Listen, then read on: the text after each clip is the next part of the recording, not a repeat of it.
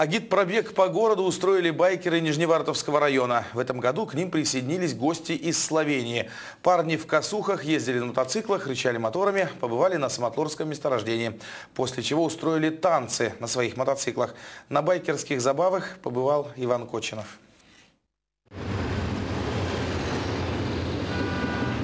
Усталость забыта, колышется флаг и снова копыта, как сердце стучат. В данном случае копыта – это колеса байка.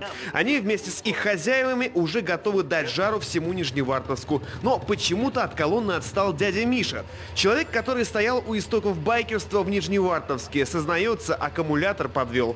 Такой подарок ему сделал железный конь за халатные отношения. Отношения основатель Легиона обещал изменить. Ему же еще Соединенные Штаты покорять, правда, по индивидуальному графику. Остальные же легионеры пока собираются навестить друзей из стран Содружества. Клуб очень серьезно стал на дальнобой. То есть мы начали много ездить далеко. И многие наши члены клуба. В Казахстан, я слышал, поездка была. Собираемся в этом году хорошей компанией в Казахстан. У нас 7 человек с клуба едет в Казахстан. Кто-то едет на Украину, кто-то едет по Европе. Кого-то вообще вам не остановить.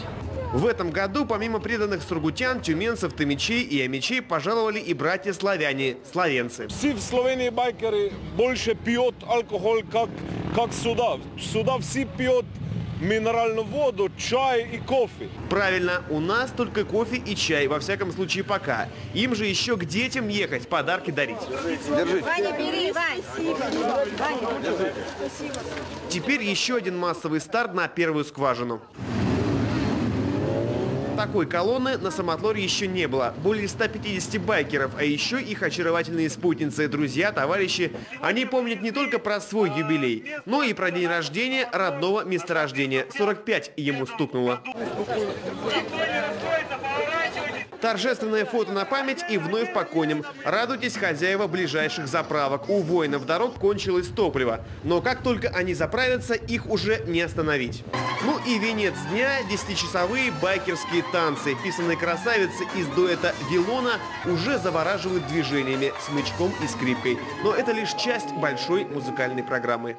В следующем году легионеры решили открытие сезона отметить скромно и в своем кругу. А вот для всех остальных нужно придумать что-то более эфирическое. Возможно, в середине лета что-то похожее на большой байкерский фестиваль.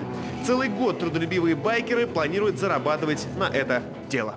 Иван Кочинов, Антон Черник, телекомпания «Транзит» специально для информационной программы «День» Нижневартовск.